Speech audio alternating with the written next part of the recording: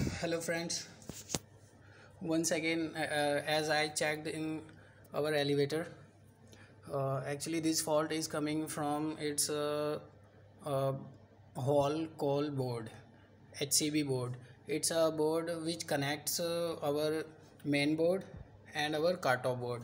Okay ctb car top. And this is a hall call board. Okay it's I, actually i got its connector loose so this problem occurs again again. So now i fixed it. Then now lift. Okay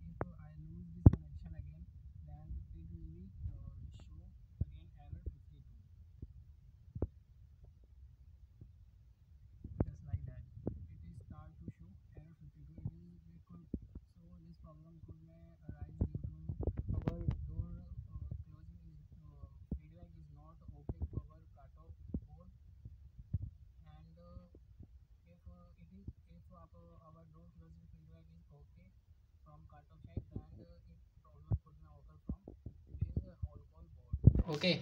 So now this problem got rectified. Uh, after tighten this uh, connector our lift now will work. Normally. Just like that you may see how to call uh, our elevator. Uh, it is our first floor second third fourth fifth. Uh, actually this call uh, is taken by lift automate oh from landing. I will show how